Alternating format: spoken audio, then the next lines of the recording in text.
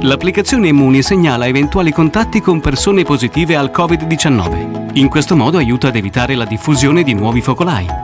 Immuni rispetta la privacy perché usa un sistema di tracciamento totalmente anonimo. L'app non registra nessun dato che permetta di risalire all'identità di chi la usa. Cerca Immuni su App Store o Google Play e scaricala subito. Scarica Immuni, aiuta te stesso, la tua famiglia e il tuo paese. Il Covid ci ha messo in grande difficoltà, ma nonostante le restrizioni siamo qui con l'entusiasmo di sempre per presentarvi la nuova collezione autunno-inverno nei nostri ampi locali perfettamente sanificati, ambiente ed abiti con la luce ultravioletta, Rita Severina Abbigliamento, via Tenente Carella Rocella Ionica, veste ancora l'uomo e la donna, dal casual al classico, con i nostri brand che hanno da sempre contraddistinto la nostra storia, Levis, Trussardi Jeans, Marella, Surcana, Tirana, Linea 5, Gaia Life, Sanremo, Ingram e tanto altro. Rita Severino Abbigliamento, via Tenente Carella, Roccella Ionica. La storia continua.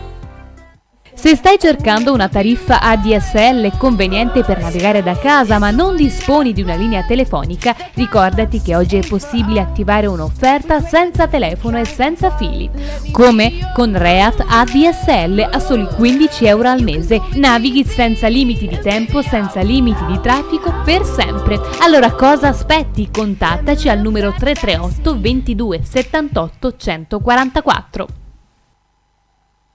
Dai laboratori EINTE Biochemistry Evolution, nel rispetto della qualità e della purezza nasce Nova Vis. Rafforza le tue difese immunitarie. Difenditi dallo stress ossidativo fisico e mentale con vitamina C, magnesio e zinco taurato nelle migliori farmacie e parafarmacie oppure direttamente a casa vostra senza alcun costo aggiuntivo. Nova Vis www.einte.it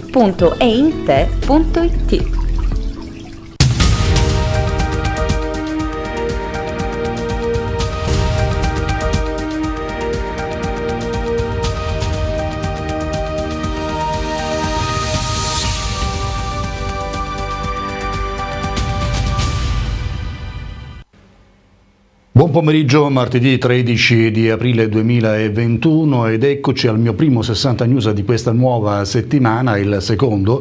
di questa nuova settimana del 2021 e ho voluto subito dedicarmi alla strettissima attualità, cioè credo ad un momento storico che sta vivendo il territorio reggino, ma credo anche e soprattutto, e capirete adesso ascoltandoci i motivi di questa mia eh, immediata riflessione, principalmente per questo lembo di terra la Locride. Sì, perché ieri è stato questo eh, Consiglio metropolitano e è stata approvata all'unanimità in Consiglio metropolitano la delibera che istituisce ah. la cabina eh, di regia eh, Reggio Metropolitana per la gestione dei fondi previsti dalla Recovery Fund. Un'occasione storica, come dice lo stesso sindaco metropolitano che vediamo subito in questa clip che parte, eh, Giuseppe Valcomatà, un obiettivo strategico che va oltre ogni appartenenza eh, partitica e che chiama a raccolta raccolta le migliori energie della classe dirigente del nostro territorio.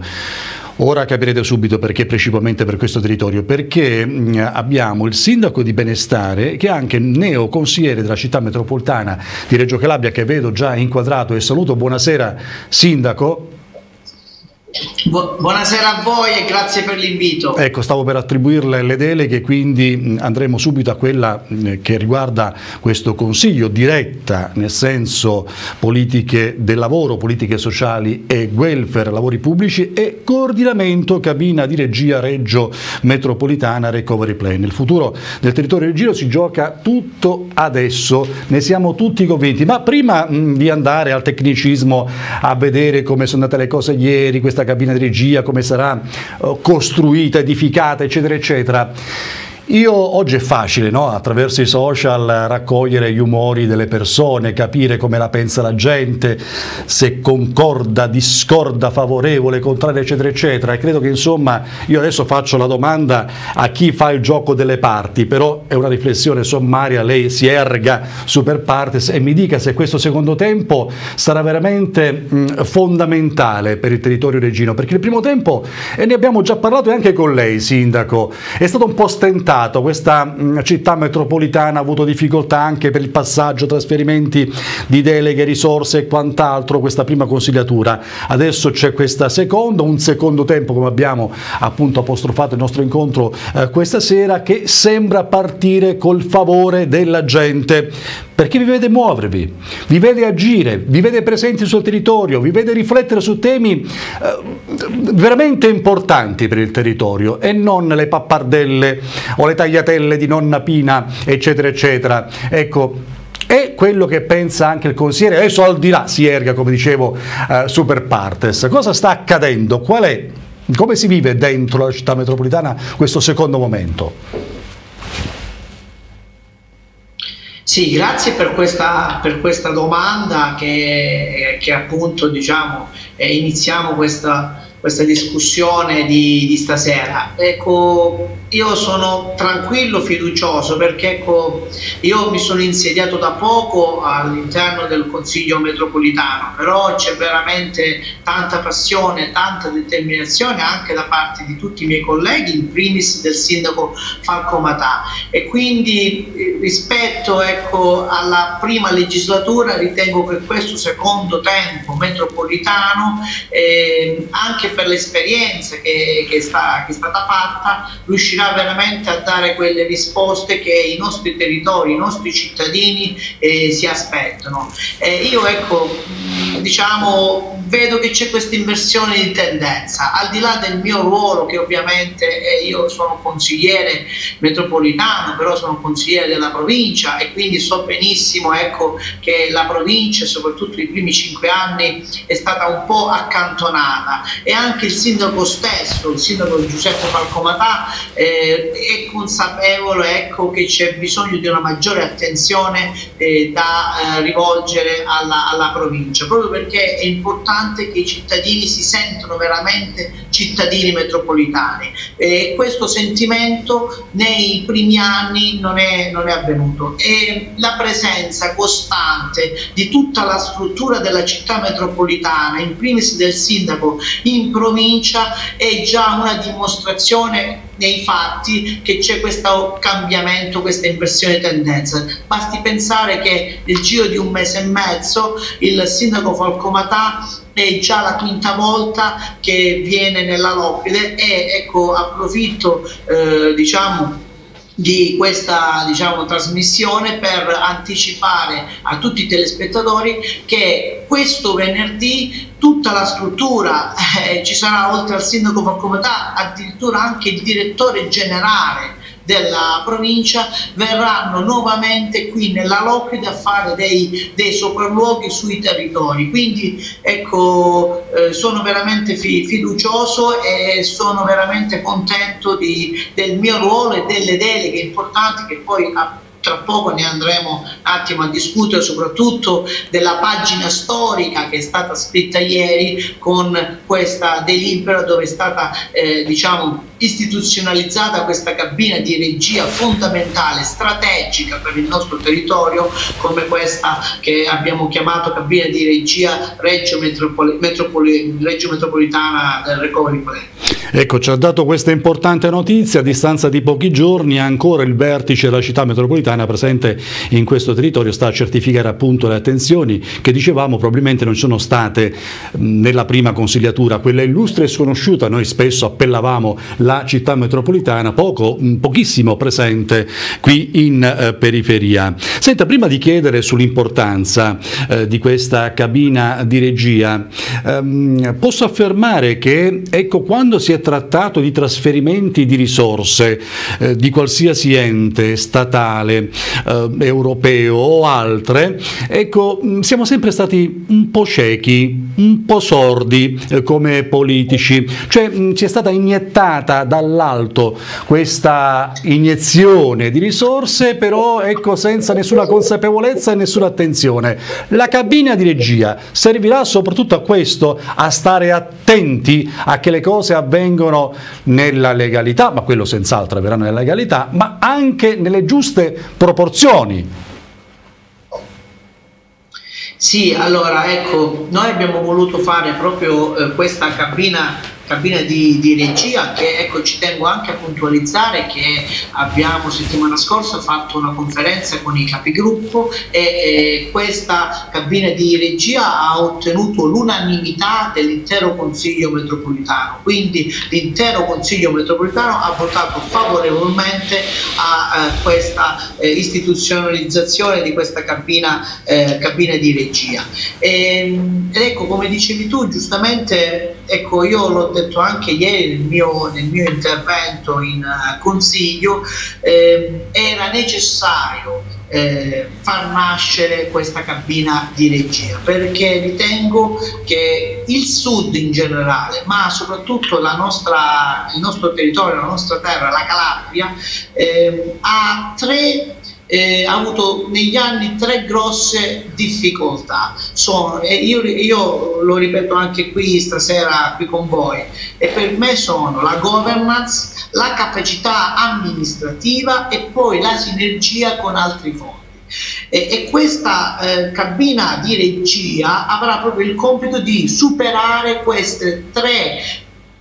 difficoltà che abbiamo avuto in tutti questi anni, cioè come governance appunto quello di riuscire ad eh, acquisire un ruolo centrale da parte del governo centrale e quindi nel rispetto ovviamente degli indirizzi centrali e strategici e strategici che ci verranno eh, dati, noi vogliamo comunque avere una governance, quindi un ruolo centrale nel eh, decidere eh, quali strategie, quali infrastrutture, quali servizi dobbiamo puntare, perché riteniamo che noi siamo qui che viviamo il territorio, conosciamo il territorio e quindi è necessario che eh, ci dia lo, lo spazio eh, ai territori, quindi alle regioni, alle città metropolitane, agli stessi, agli stessi comuni. E su questo dobbiamo fare attenzione perché c'è poca chiarezza eh, in questo momento da parte del governo eh, centrale, perché ecco perché noi attraverso questo strumento, questa scomposizione di questa cabina di regia cercheremo di dare un maggiore impulso alla nostra azione politica ed amministrativa, perché eh, ci sono una serie di preoccupazioni che poi più tardi dirò mm. in merito a questi fondi europei che saranno eh, a breve diciamo eh, destinati al, all'Italia. E poi ecco, oltre alla governance c'è il discorso della capacità amministrativa. Questa rappresenta, credetemi, una sfida da non sottovalutare, perché eh, per quanto riguarda la capacità amministrativa in questi ultimi anni noi abbiamo avuto attraverso i fondi strutturali sia a livello centrale che a livello regionale abbiamo avuto la possibilità di evidenziare le persistenti carenze in termini di capacità amministrativa della pubblica amministrazione. E quindi attraverso questa cabina di regia dove ehm, ci sarà eh, la formazione di una segreteria tecnica composta da tecnici di alto profilo eh, andremo a dotare la pubblica amministrazione di nuove competenze che andranno in un certo qual modo a mitigare quell'eccessivo affidamento eh, a, a, questi servizi a esterni, ma noi attraverso questa cabina di regia andremo a individuare delle nostre professionalità, delle nostre eccellenze che abbiamo sul territorio regionale che ci consentiranno di appunto portare avanti in maniera sinergica quali sono i nostri obiettivi e le nostre eh, sinergie e poi infine eh, questa cabina di regia avrà un ruolo quello della di una sinergia con altri fondi e, e mi spiego, e mi spiego sì, meglio sì. e cioè dobbiamo far capire che il recovery fund non deve essere un discorso addizionale al nuovo ciclo di programmazione che ci sarà 2021-2027 e quindi dobbiamo evitare la sovrapposizione e quindi e assicurare quindi che questi soldi del recovery siano veramente un, un discorso di complementarietà rispetto agli altri fondi europei come penso ad esempio ai piani, piani, per il sud che sono altri 140 miliardi di euro che stanno per arrivare. Come spesso è accaduto fino al momento, eh, perché spesso si è parlato di fondi, di quote di riserva per il Sud, però eh, comprendendo insomma, mh, eh, più eh, risorse da più parti, da più progetti. Invece in questa, in, questa, in questa, fase bisogna fare un netto distinguo, quello che compete per il Recovery Fund, Recovery Fund, altre cose per altre eh, ragioni. A proposito di quote di riserva, ecco, sarà ovviamente un impegno arduo per questa cabina di regia, per i tecnici che ne faranno parte, ovviamente saranno tutte persone altamente qualificate. Il fatto storico è, inutile rimarcarlo perché è la prima volta che sentiamo parlare di una vera e propria cabina di regia che monitori, che stia attenta insomma che queste quote di riserva giungano e tutte nel territorio. Ecco, sarà un'impresa ardua perché al momento per il mezzogiorno è previsto solo il 34%, come dire che partiamo col piede sbagliato. Anche, anche, su questo aspetto devo, devo ecco, mettere in evidenza che ieri questa tematica è stata affrontata da, dal sottoscritto, ma dal sindaco, ma da tantissimi miei colleghi consiglieri metropolitani. Questa sarà una battaglia che noi eh, avvieremo subito in questi giorni perché non riteniamo assolutamente eh, congrua questa cifra del 34%. Eh, basti pensare che eh, diciamo da nostre fonti tra virgolette romane ci riferiscono che all'interno di questo 34% ci sono anche i fondi strutturali quindi sarebbe anche un 34% fittizio. Ma eh, noi andremo ov ovviamente a ribadire con forza che questi soldi che la comunità europea ha destinato all'Italia eh, sono uno dei parametri che, che hanno poi quantificato questi soldi erano quelli di ridurre il divario, il gap infrastrutturale che vi è tra il nord e il sud del paese. E quindi la nostra proposta è quella invece che come fondi per quanto riguarda il centro-sud d'Italia proprio per eh, diciamo, rispettare uno di questi parametri che ci ha imposto la comunità europea è quello che non solo non, il 34 non va bene assolutamente, ma dobbiamo quantomeno arrivare al 60% di questi fondi proprio per poter diciamo, pareggiare sia da un punto di vista infrastrutturale, ma anche, io ripeto, oltre alle infrastrutture, purtroppo qui da noi ci sono una serie di servizi essenziali che sono carenti e quindi su tanti punti di vista dobbiamo assolutamente avere più fondi, più risorse proprio per riuscire a rispettare uno dei parametri che la eh, comunità europea ha stabilito perché si possono spendere questi fondi. Fondi che, vi ripeto, perché abbiamo fatto la cabina di regia? Via, perché ci sono delle scadenze perentorie, anche su questo dovremo fare una battaglia, perché eh, diciamo non lo so se riusciremo veramente a rispettare queste scadenze e ricordo a chi ci segue, chi segue da casa che se non arriva una proroga entro il 30 aprile, quindi entro nemmeno fra 15 giorni, il governo centrale dovrà trasmettere a Bruxelles, quindi alla comunità europea, il nostro piano sul recovery. Quindi siamo veramente diciamo con i giorni contati. Oltre a questo ricordo che il 70%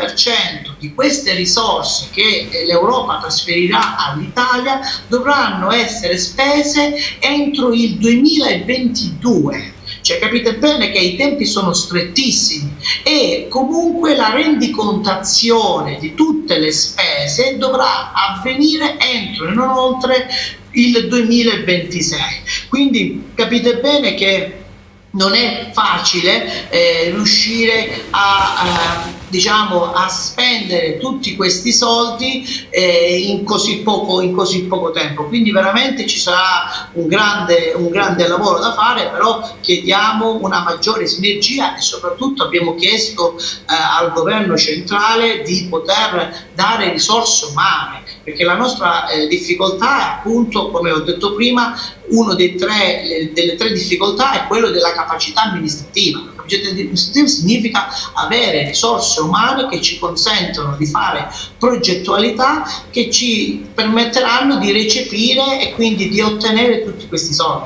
Ecco, il fatto dei tempi avvalora la tesi del duro impegno che ha questa cabina di regia che deve fare tutto molto in fretta, però è una grande opportunità e proprio per quello e anche perché poi eh, tutto quello che verrà messo a frutto verrà messo a frutto nel giro di eh, pochi mesi, anche questa è una buona notizia, potrebbe essere una buona notizia per il territorio se si riuscirà ovviamente a ottimizzare il tutto. Prima di entrare nello specifico e di vedere poi queste risorse come andrebbero ripartite, ecco sul piano insomma programmatico dove bisognerebbe investire, dove si intende più di ogni altra uh, parte investire. Ecco, mh, le volevo mh, chiedere questo, mh, adesso un po' svesta i panni da garante dell'intero territorio reggino e torni alle affermazioni che faceva prima ancora di avere questa delega da parte di Falco Matà. Lei ha più volte sostenuto eh, che la Locride è cruciale per la ripartenza del territorio. Vogliamo tornare a quell'affermazione e ci dice anche le ragioni per cui afferma ciò? Sì, lo affermo e lo, e lo ribadisco perché e, e, questo ringrazio comunque il, il sindaco per comunità che mi ha attribuito delle deleghe così importanti proprio ad un rappresentante e sono orgoglioso di esserlo della Loppide perché appunto ricordo uh, che oltre ad essere eh, come delegato il coordinatore di questa importantissima cabina di regia eh, eh, sul recovery plan, io ho la delega ai lavori pubblici oltre alle politiche sociali e alle attività produttive, quindi ho veramente tante deleghe, ma deleghe importanti e significative. Eh, e il mio obiettivo è quello appunto eh, di far uscire dall'isolamento la nostra lotta perché non può esistere una città metropolitana senza della Locride. E attualmente dobbiamo dirci le cose come stanno la Locride non fa parte della città metropolitana perché capite bene che un cittadino di Monestarace, di Stignano ma anche di Bovalino non si può mai considerare diciamo un cittadino metropolitano quando ci mette un'ora e mezza a raggiungere il centro capoluogo non,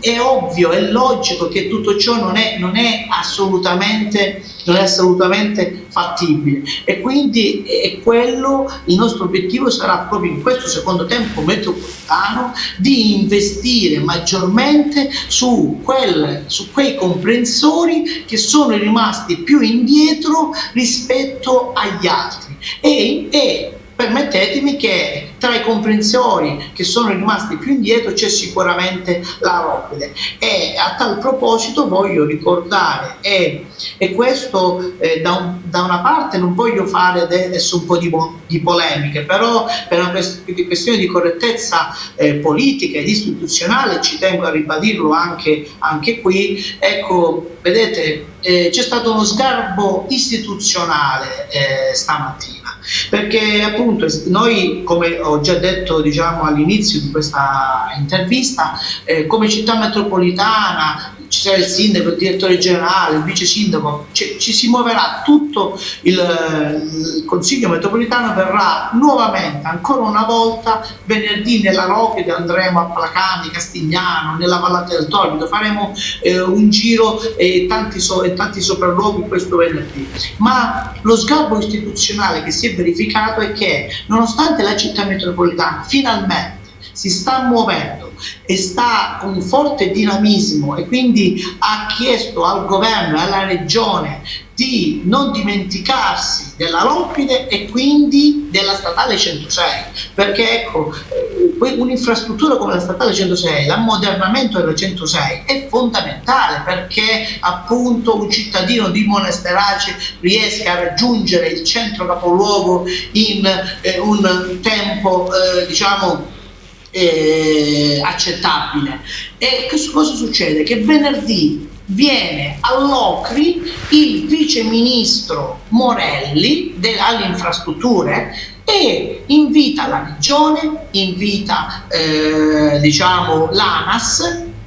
parlano di, della statale 106 e non invitano la città metropolitana. Città metropolitana che ricorderete dieci giorni fa ha fatto una presa di posizione molto importante su mia proposta, ha fatto una delibera di giunta dove ha inviato proprio al Ministero di Morelli, quindi al Ministero delle Infrastrutture, alla Regione all'ANAS la richiesta di inserire tra, eh, tra, i recovery l'ammodernamento della statale 106, visto che attualmente non vi è, non vi è traccia. Loro cosa fanno? Decidono comunque di venire, di fare questa passeggiata elettorale, eh, di campagna elettorale questo venerdì all'Ocri senza invitare la città metropolitana, dove sapete bene che comunque la competenza su questa statale 106 è della città metropolitana, certo. quindi un grave sgarbo istituzionale è stato, è stato fatto e noi poco fa abbiamo fatto una dichiarazione e abbiamo, l'abbiamo inviata a tutti gli ordini di stampa come consiglieri di maggioranza eh, della città metropolitana dove abbiamo ovviamente eh, espresso la, nostre, la, nostra perplessità e la nostra eh, diciamo eh, come posso dire eh, delusione da parte del vice ministro che non ha, ha avuto diciamo, il garbo di, di, invitarci per discutere di questo modellamento della statale 106. Eh, detto ciò, noi al di là dello sgarbo siamo comunque felici della loro presenza, speriamo che venerdì quando verranno non faranno solo una passerella elettorale, ma diranno concretamente che cosa vogliono fare, perché noi nella nostra delibera abbiamo eh, fatto delle proposte concrete e cioè abbiamo eh, recepito la comunicazione che è arrivata dal commissario Oliver Silla, che è il commissario eh, del Dipartimento Infrastrutture della Comunità Europea, dove ha detto chiaramente che la eh, statale 106 Ionica non può essere finanziata con i soldi del recovery perché con i soldi del recovery si può finanziare solo e esclusivamente la rete eh, stradale che è cosiddetta TEN-T e quindi noi nella concretezza che cosa abbiamo chiesto al governo centrale, alla regione e all'ANAS di spostare quasi 2 miliardi di euro che sono stati stanziati con il bilancio statale eh, alla, della Calabria Alta, cioè la zona di Simpari, eh, per l'ammodernamento della statale 106. Questi soldi spostiamoli sulla 106 Ionica, quindi finanziamo l'ammodernamento della statale 106 Ionica e quindi del Megalotto 5 che sarebbe da Reggio Calabria a Merito Portosalvo e il Megalotto 10 che va da Merito Portosalvo a Sant'Ilario Ionico, a Sant'Ilario dello Ionio e poi l'ultimo tratto per arrivare a Monasterace che manca l'ultimo tratto con questi soldi statali, mentre i soldi stanziati sulla Calabria Alta, per capirci, possono essere finanziati con il recovery perché quel tratto della 106 ricade nella cosiddetta TEN-T. Quindi abbiamo chiesto nella concretezza della nostra azione politica facciamo questo, facciamo, diciamo, una, facciamo cose concrete. Speriamo che questo venerdì il, il Vice Ministro abbia recepito la nostra delibera che non solo la città metropolitana ha adottato, ma tanti comuni della nostra provincia stanno in questi giorni adottando proprio per dare un maggiore impulso a questa nostra azione, azione politica. Quindi stiamo a vedere quello che succederà. Quindi ha manifestato, ha detto chiaramente che comunque le idee ci sono, i progetti ci sono, ecco poi i fondi pure si possono trovare, ci sono delle buone intenzioni per mettere mano un po' ovunque. Gaff o sgarbo che sia, lo diciamo con ironia, è un nuovo governo, probabilmente non conosce il territorio, ma lo si farà conoscere meglio anche con questi schiaffetti che si danno, con questi ammonimenti che si danno, con queste lettere insomma, che si rendono oh, pubbliche e ben vengano. Eh, senta, a proposito di ironia, autonomia, eh, la usiamo anche per questi temi comunque importanti, cruciali, quali la viabilità. Lei mi parlava della 106, la 106 che ci preme tantissimo, insomma, ehm, a che venga rivalutata, rammodernata, perché io credo che tutti noi abbiamo perso un amico vicino, lontano, troppe morti abbiamo pianto ecco, su questa 106, quindi la vogliamo eh, vedere insomma eh, rifatta, rimodulata, ricostruita, eh,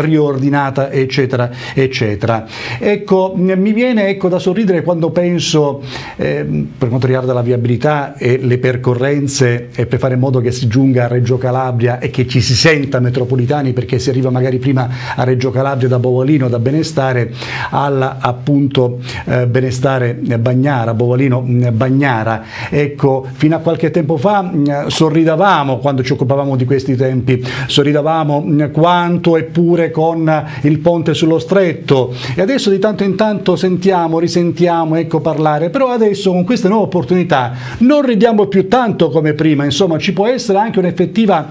possibilità che queste cose vengano effettivamente realizzate, ci crediamo e quanto?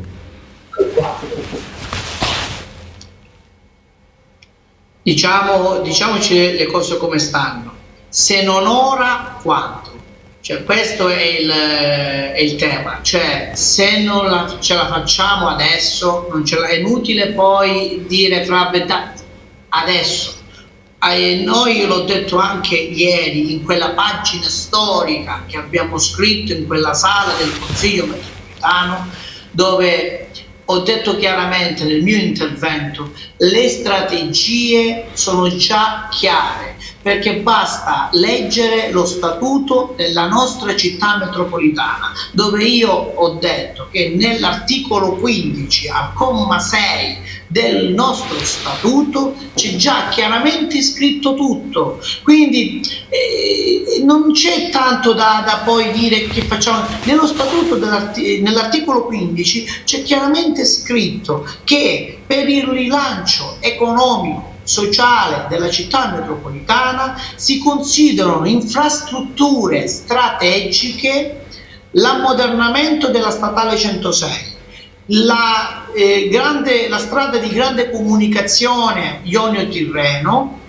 c'è anche scritto, menzionata la trasversale Bovalino-Pagnara c'è scritta, c'è già scritta nel nostro statuto e poi ovviamente l'autostrada del Mediterraneo, quindi eh, l'autostrada, oltre ovviamente al porto di Gioia Tauro e l'alta velocità. Quindi queste infrastrutture strategiche sono già scritte, quindi quando viene il vice ministro dice ma per il, noi abbiamo, abbiamo già scritto quello che ci serve per il rilancio del nostro territorio, non vogliamo assistenzialismo, noi vogliamo queste infrastrutture strategiche e poi, e poi la città metropolitana, ma io penso che con queste infrastrutture e tutta la regione Calabria che eh, ne giova, noi sapremo assolutamente come da buoni calabresi dimostrare a tutti che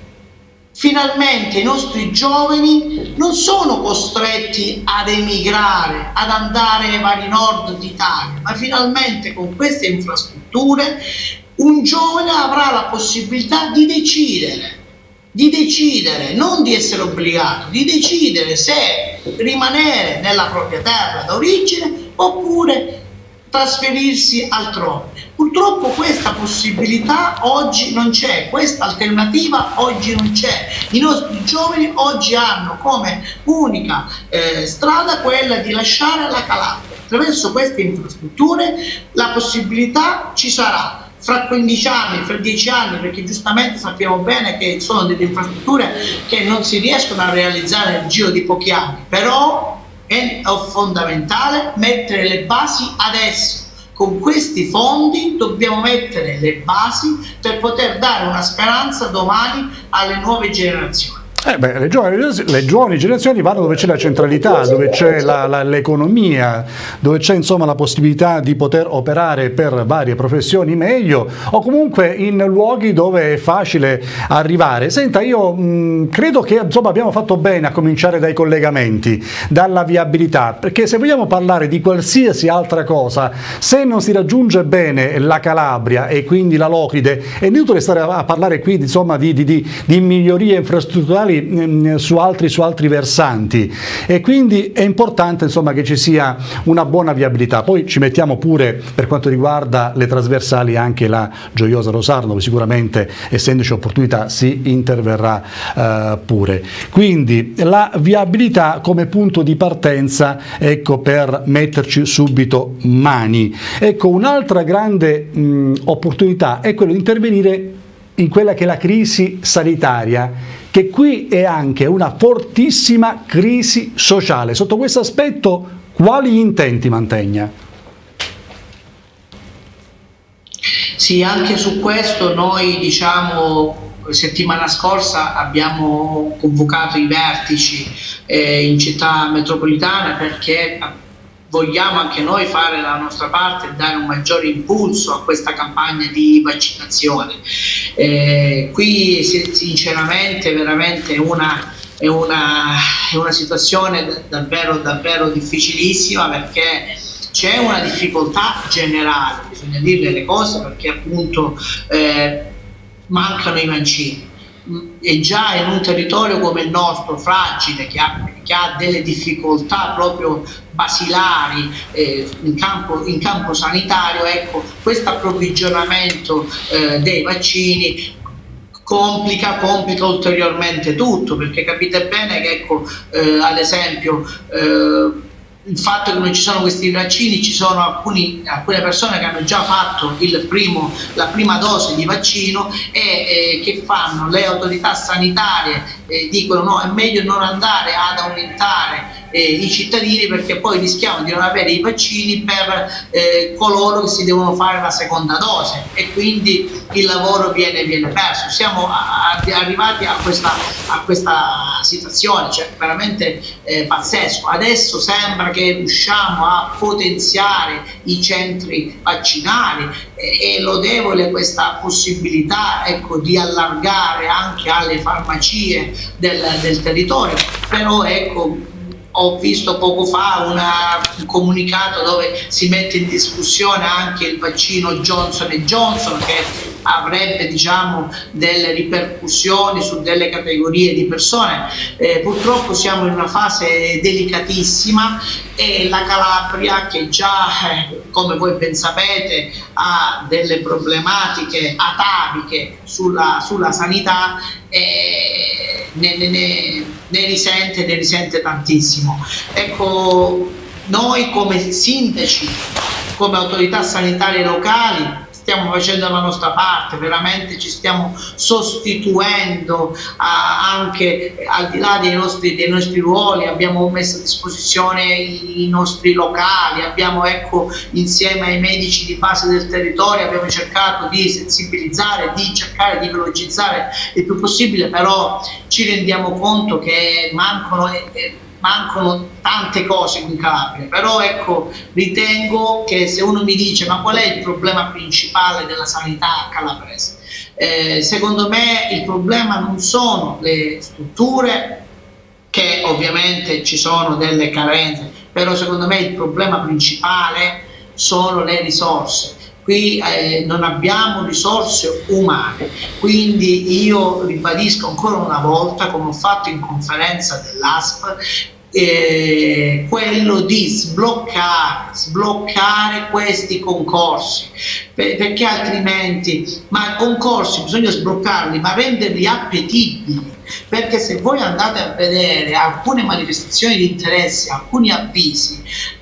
sono addirittura deserte, deserte perché un giovane medico eh, ci pensa due volte prima di andare a lavorare ad esempio all'ospedale di Locri. E soprattutto ci pensa eh, due volte soprattutto quando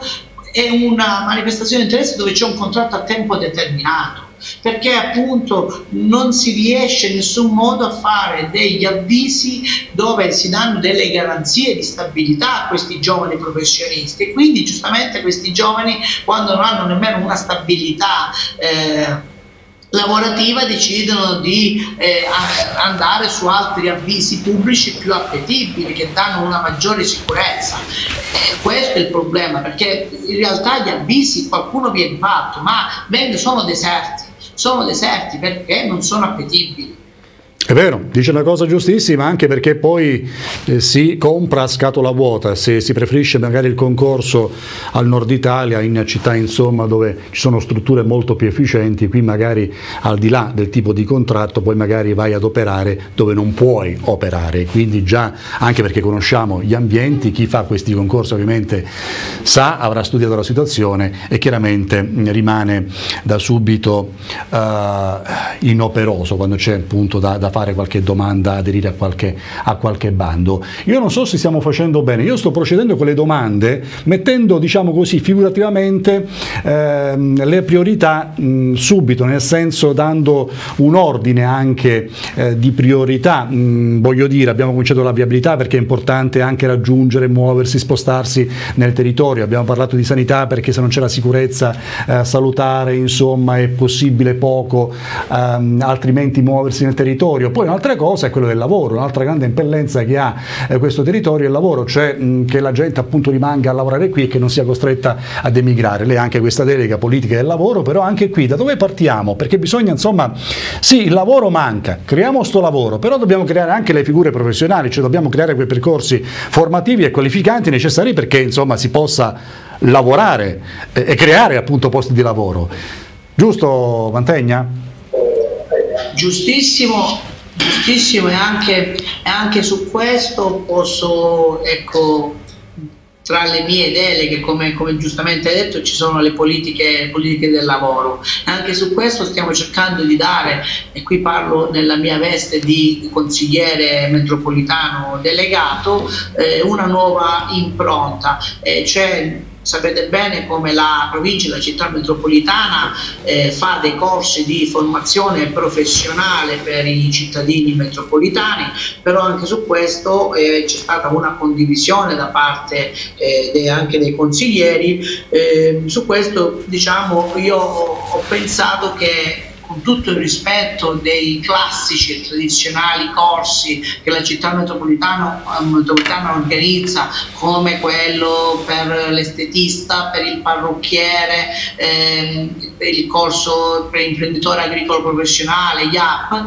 è necessario adeguarsi ai tempi moderni e quindi fare anche dei, dei corsi innovativi che vengono richiesti dal mercato, dal mercato del lavoro. E quindi anche su questo stiamo del, diciamo, eh, predisponendo prima che venga approvato il bilancio dei corsi nuovi eh, andando a vedere quali sono le maggiori richieste che il mercato del lavoro richiede in modo da poter professionalizzare quindi formare i nostri, i nostri giovani del territorio. Eh, e quindi questo è un aspetto. E poi ecco ehm, ritornando sempre al discorso eh, del, del, recovery che comunque ovviamente è collegato eh, gli investimenti sono collegati comunque a degli aspetti occupazionali eh, in convenzione con il rettore dell'Università di Reggio Calabria eh,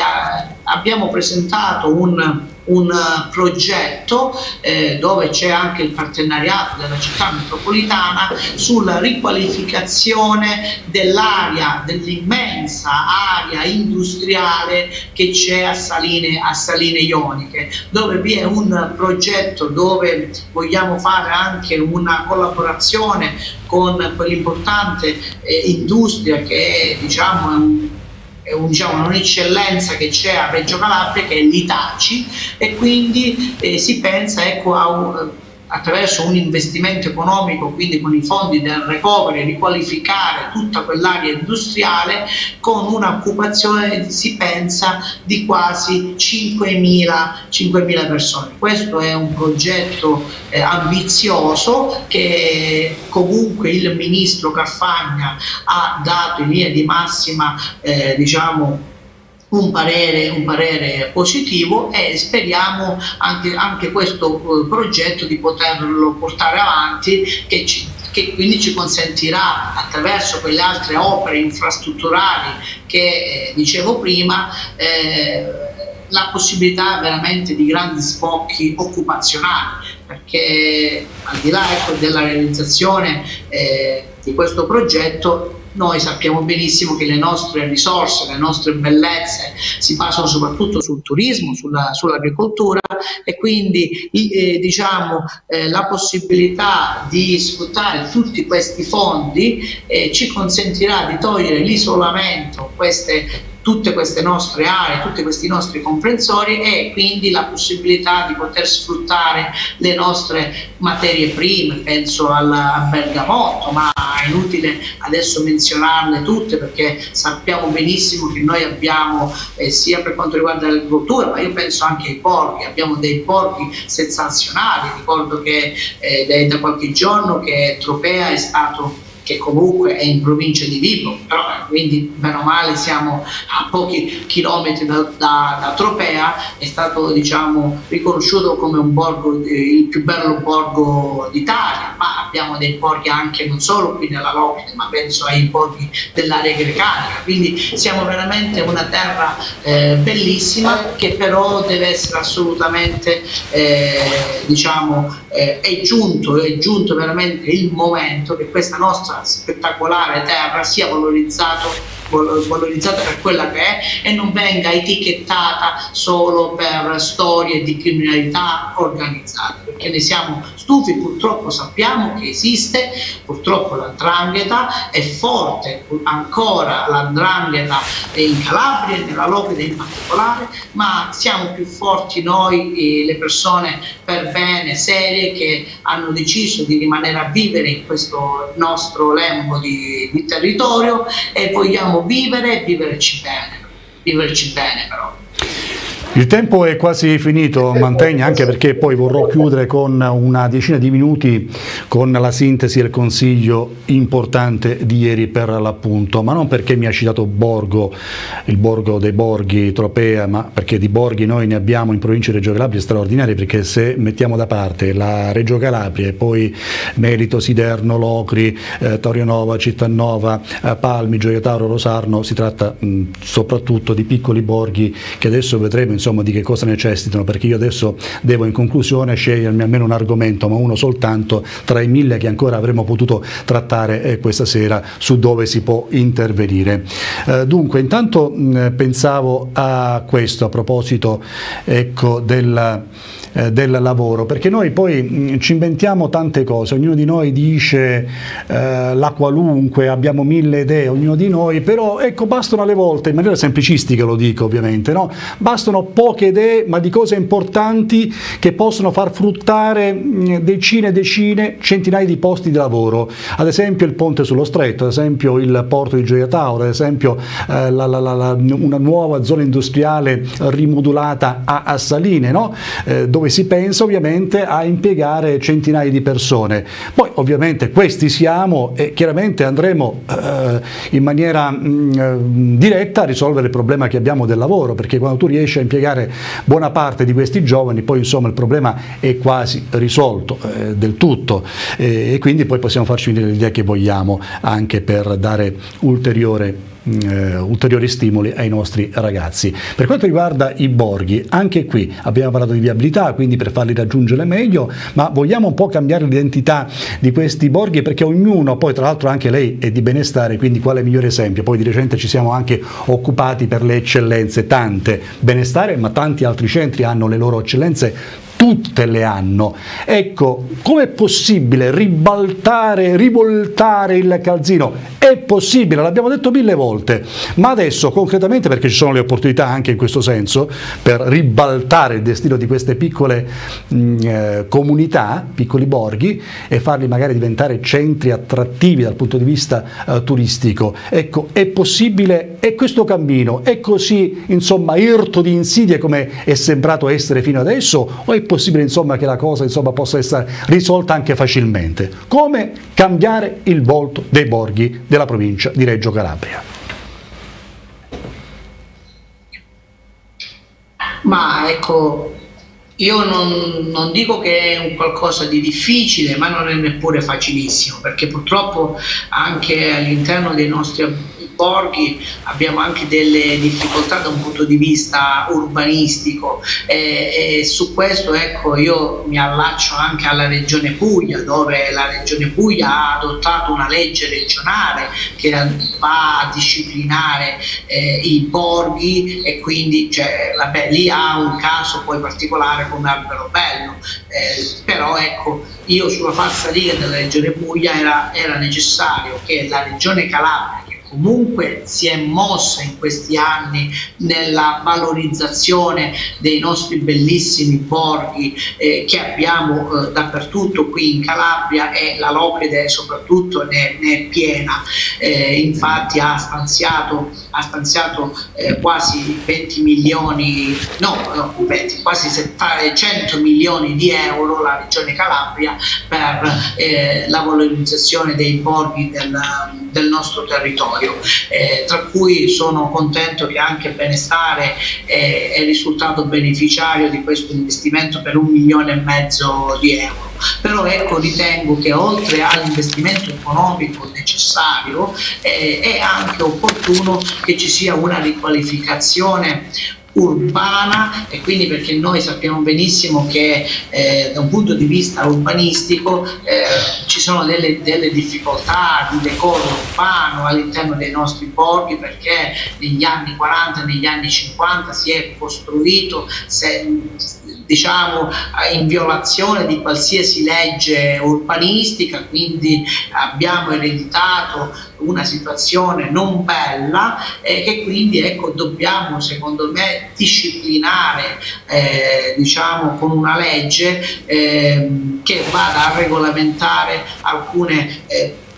alcune questioni amministrative, eh, tecniche all'interno dei nostri, dei nostri borghi, proprio per eh, consentire ecco, a tanti cittadini che hanno intenzione di ritornare nei, nei, nostri centri storici di investire, perché con le norme attuali capite bene che tanti giovani, tanti imprenditori eh, non se la sentono di investire eh, all'interno di questi centri storici, di questi borghi che attualmente non vi dico che sono abbandonati, però giustamente eh, tanta gente eh, si è trasferita. E quindi per ritornare a ripopolare questi borghi, oltre agli impegni economici che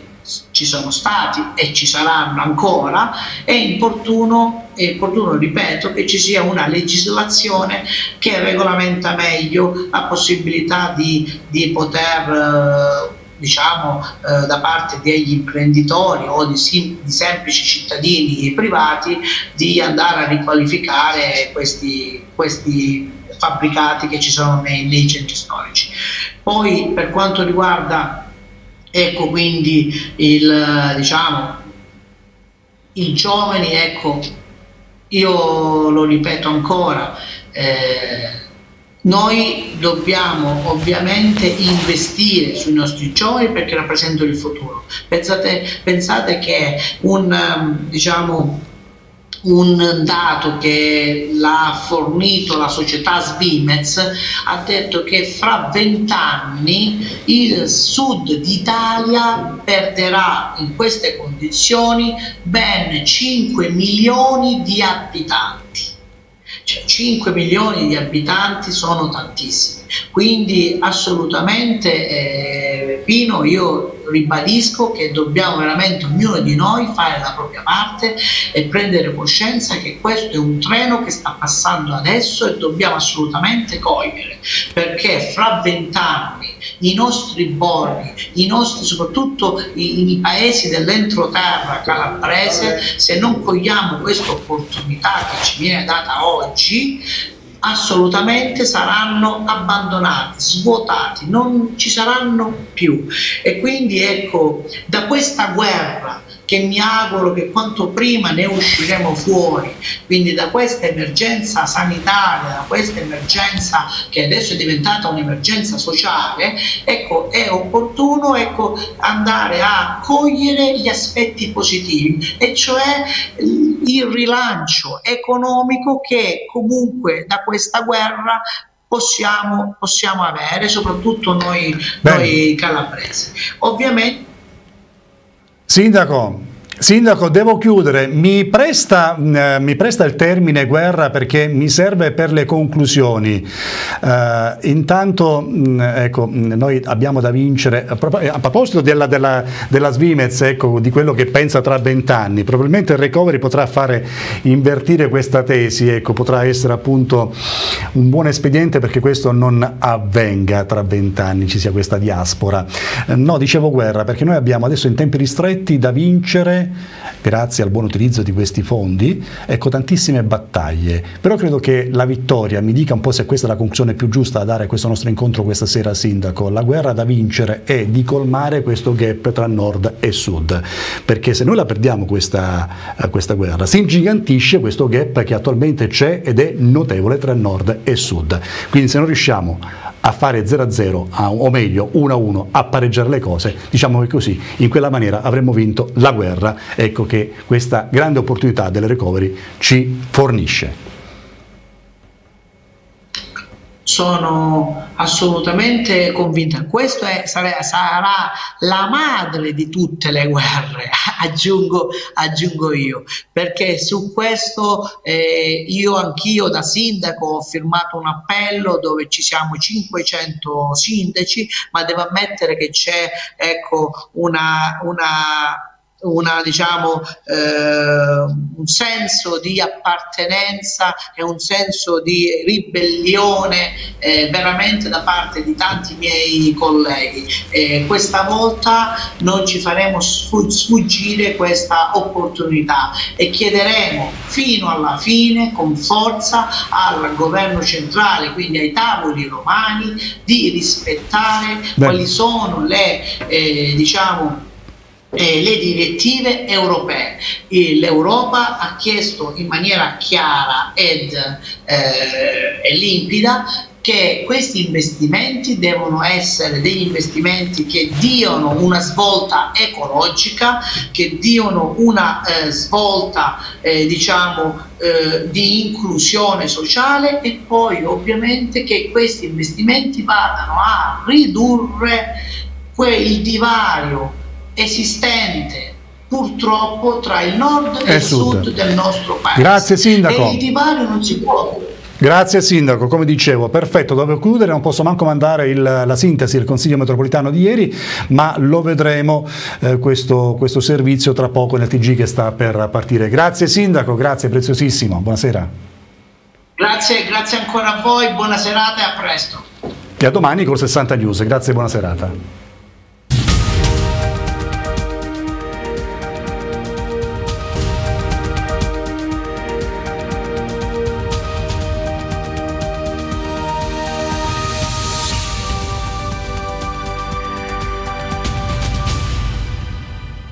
Il Covid ci ha messo in grande difficoltà, ma nonostante le restrizioni siamo qui con l'entusiasmo di sempre per presentarvi la nuova collezione autunno-inverno nei nostri ampi locali perfettamente sanificati, ambiente ed abiti con la luce ultravioletta, Rita Severina Abbigliamento, via Tenente Carella Rocella Ionica, veste ancora l'uomo e la donna, dal casual al classico, con i nostri brand che hanno da sempre contraddistinto la nostra storia, Levis, Trussardi Jeans, Marella, Surcana, Tirana, Linea 5, Gaia Life, Sanremo, Ingram e tanto altro. Rita Severino Abbigliamento, via Tenente Carella, Roccella Ionica. La storia continua.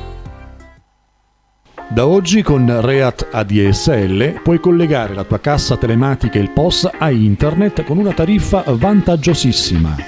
Con soli 5 euro mensili avrai la tua connessione alla rete. Chiama subito per maggiori informazioni al numero 0964 82 189 oppure al 338 22 78 144. Reat ADSL.